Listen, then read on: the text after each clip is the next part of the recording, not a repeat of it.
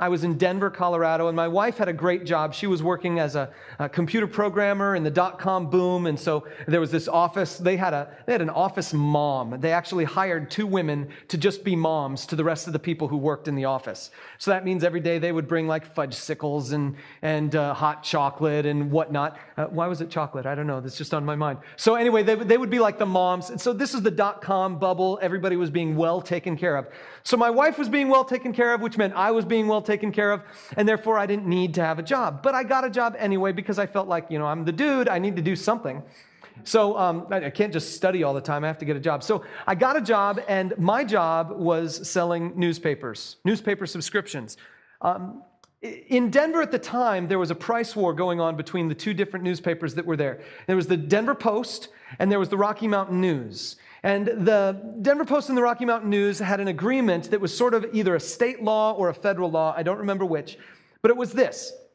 If you sell a seven day a week subscription, you can't go below the certain price. You can't go below a certain price uh, of the subscription. And so, even though there were two newspapers and they were trying to do a price war, they couldn't get below this certain price. And so once you reach that point, that price point, then the two newspapers are exactly the same in price. And so now what are you going to do? How do you compete? Well, at this particular point in time, they found a loophole in the law. If you remove one day, then you're not selling a seven day subscription, you're selling a six day subscription. And the law was silent on six day subscriptions.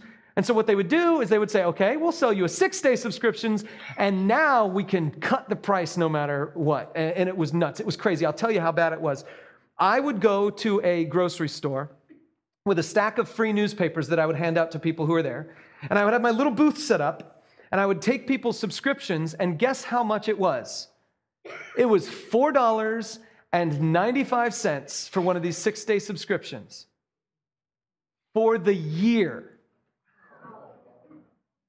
$4.95 today gets you the Denver Post for 365 days minus all the Mondays. Because we weren't, it was a six day subscription. You got the Sunday paper, you got all the Wednesday coupons if you like that kind of thing. You didn't get one of the days. I can't remember what it was. I think it was Monday that you didn't get, something along those lines. But the whole year for just $5. Now, you tell me, is that good news? I, I, get the Journal and Courier. It's the only local newspaper really here, and you know, so that's the one I subscribe to, and I pay about twenty dollars a month to get the subscription. So that's 20 times 12, that's $240 a year. Um, and in Denver, I was selling them for five bucks for a year. Now that's a huge difference. That's good news, right? I mean, I thought that was really good news. You know what was even better news? I got $6 worth of commission on every subscription I sold. couple years later, the newspapers went bankrupt. Yeah, they, they were in the price war too long and they just, they just ran out of money. So then another company came in, bought them out, merged them. And now there's only one newspaper out there. I can't remember what it's called. It's like the Rocky Mountain Denver Post or something like that. Anyway, so, um, so they had the, the one newspaper that I was working with. I would get $6 commission. The subscription was, was, was $5. If I was smart, I would have signed everybody up and paid for it myself. In fact, I offered to do that for a couple people because I'd earn a dollar at least on every single one of them. Let's just keep this ball rolling. Um, so here's the deal I was standing there knowing that I had the best deal in the world. There was enough coupon savings in one newspaper to offset the cost of the entire year.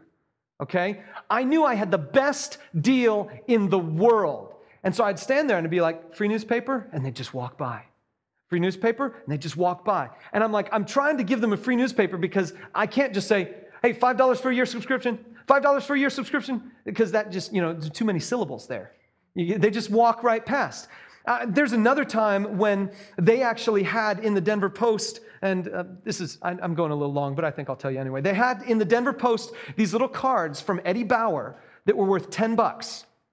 It was for Christmas. It was like a Christmas promotion Eddie Bauer was doing. Every single newspaper had one of these $10 gift cards from Eddie Bauer in it. Serious. And it, it was like cash, money but it was on this gift card. And I'm standing there trying to give people free newspapers with $10 cash inside the newspaper, asking for them just to take the newspaper, even if they don't want the subscription, for $5 for the whole year. So um, people just kept walking past. Eventually, what I did is I went to the warehouse and I stacked up about 300 newspapers, and then I gave some of them, and I gave some of them to my friends. And I bought everybody Eddie Bauer um, presents that year. It was pretty awesome. And I called to make sure it was all cool and legal and kosher and stuff, and they said it was cool. So, anyway, that's another story. Here's the deal I'm giving people the best deal in the world, and they're walking right past me. Why? Because they don't have a newspaper problem. If they want the newspaper, they already have the newspaper. If they don't want the newspaper, they don't want the newspaper. They don't have a newspaper problem. So it's not good news unless they have a problem that my news solves. So if this is good news, there's got to be a problem that Jesus solves. In fact, according to Mark, in the first three chapters of Mark, you see Jesus solving every human problem. One of the problems the people had is that the Israelites were being ruled by an oppressive foreign government, the Romans. They needed a different Son of God to be over them. And that's what happens. In Mark chapter 1, verses 9 through 11, you can flip there and you can see that Mark tells us the story of Jesus walking up to John the Baptist, and John the Baptist is dunking people to get them to make a new commitment of their life to, to repentance and to, and to following God with their lives. And Jesus goes up to John, and John says, I don't need to baptize you. And Jesus says, I'm going to do it anyway to fulfill all righteousness because this is the right thing to do, Jesus says. And so then he gets baptized, and then as he comes up out of the water, the voice comes out of the heavens voice comes out of heaven saying, This is my son.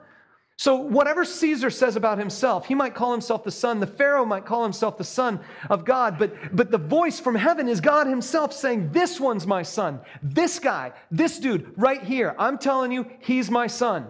So, so Mark tells us that Jesus is the guy. If you need a new ruler, Jesus is the one. Go on to the next uh, verse, and you see Mark 1, um, beginning in verse 12 it says that Jesus is sent off into the desert to be tempted. He's sent off into the desert to be tempted. And I got to ask you this question How many of you have ever had a, a personal encounter with Satan himself? I mean, 8 billion people on the planet. How often has he paid attention to you directly? But he did for Jesus. He shows up and he tempts Jesus. And no matter how he tempts Jesus, Jesus goes through it with flying colors. He handles every temptation, handles it. Go on a little further, and when you get to verse 14, Jesus begins to speak. He begins to tell people his heart message. And his heart message is this The time has come, the kingdom of God has come near. Repent and believe the good news. The time has come, the kingdom is near. Repent and believe the good news. Jesus is proclaiming a new kingdom. We don't have those same problems necessarily. We've got a relatively good kingdom.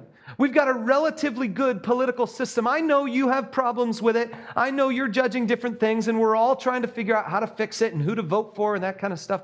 But we have a relatively good one. These people didn't. And so Jesus is showing up and he's proclaiming, I have a brand new kingdom. Here's where it touches our lives. Have you ever been in that place where you said, Man, why does God allow this bad stuff to happen? Why doesn't God just show up and end all the bad stuff? Why doesn't he just show up and eliminate it all? Why doesn't he set up his kingdom right now where he's in total control? Have you ever felt that way? That's your heart longing for a new kingdom. That's your heart longing for God to take control. The problem is, if God took control, he'd have to get rid of all evil, including my stuff. But Jesus is saying, here's a new kingdom, God's kingdom, and it's right near you. He doesn't say it's shown up, it's dropped on top of you. He says it's near you. The time is now, but the kingdom is near. In other words, you and I sometime, somehow have ability to access the kingdom. It's like it's right next to me. I got to get into it somehow. The rest of the Gospel of Mark will tell us more about how to get into that kingdom and how to be part of it. But let's go on a little further. In verse 21 and 28, a guy comes up to Jesus and he's, he's got demons inside him.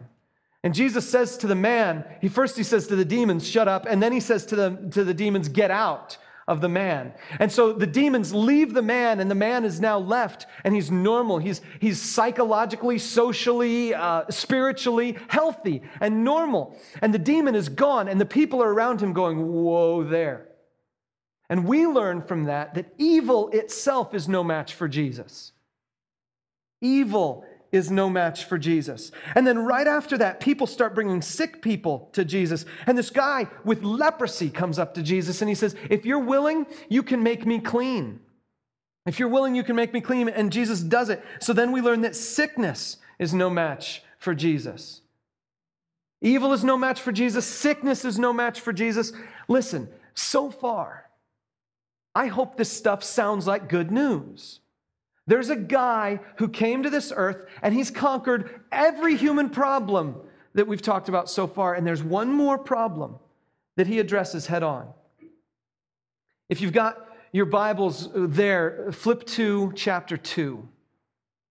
And I'm going to tell you this story, but you can skim through the pages there to make sure I'm telling it right. What happens is Jesus comes to the town, to his hometown, and he's beginning to teach people.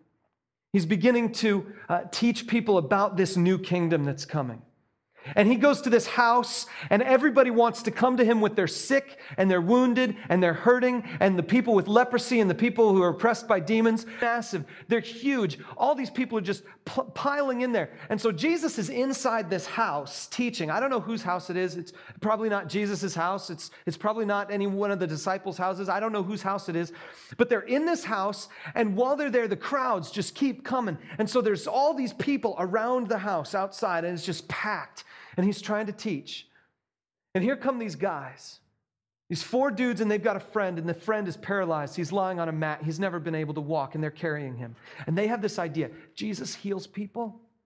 If sickness is no match for Jesus, then maybe, maybe this guy can be healed too. And so they're wanting, they're bringing him to Jesus, but when they get there, the crowd is too big. They can't get inside. So what do they do? Back in that day, the roofs of the houses were flat, and they all had stairs going up because that was their deck. That's where they hung out during the summer. And so these guys climbed up the stairs to get to the roof and they start digging a hole through the ceiling. I mean, that's like, imagine right now if someone started digging a hole through the ceiling, we would get out of here fast. I tell you, that would be that would be weird and creepy. But if you heard, you know, the saws are going, some guy's Sawzall sticks down through there and starts chopping around. The drywall is cracking and falling, and dust is in the air and all this stuff. And I can't talk anymore because you're all distracted. And you know, it's coming down. These guys are digging through this mud roof this mud and straw roof. And as they're digging through it, the sound is underneath. I mean, you hear the crackling of the roof doing something. It's dirty, there's dust in the air. Everybody's covered in like this dirt and mud and the sweat that they already had on them. Now it's all getting caked in mud. And so now there's a hole coming